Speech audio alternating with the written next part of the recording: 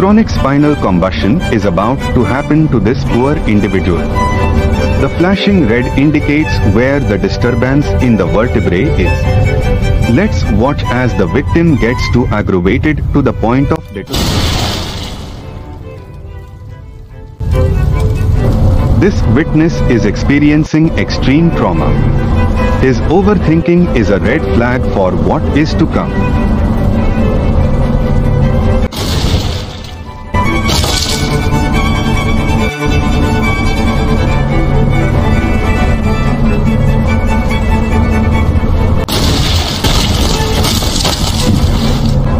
Dr. Breen here is too nervous for stable vertebrae activity.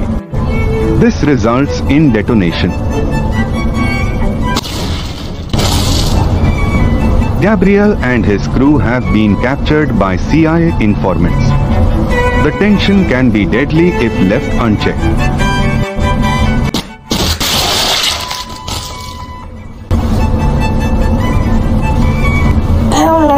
Think I've gotten too hard.